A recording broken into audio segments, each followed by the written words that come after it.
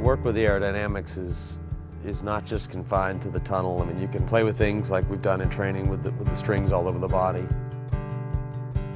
Another interesting thing we've done is you, we can actually take courses, you know, from point A to point B, and you can model those in a computer program uh, or through some, some different types of software that we have. And you can model it based on, um, obviously, the terrain, um, but based on the wind conditions that, that, that that particular course would see or has seen on that particular day for X amount of years. And so you can kind of get an idea for, for example, the final time trial at the tour this year in Bordeaux is a, is a 30 mile time trial, point A to point B. We can analyze the, the wind data from that section of road you know, over the last, I think, uh, 50 years. And so then you can really start, to, without ever having been there.